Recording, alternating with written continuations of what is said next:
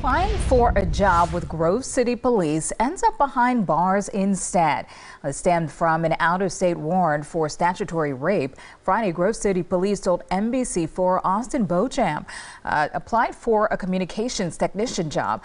They found out he was wanted in North Carolina after running the routine background check for applicants. Beauchamp was arrested June 22nd and extradited back to North Carolina.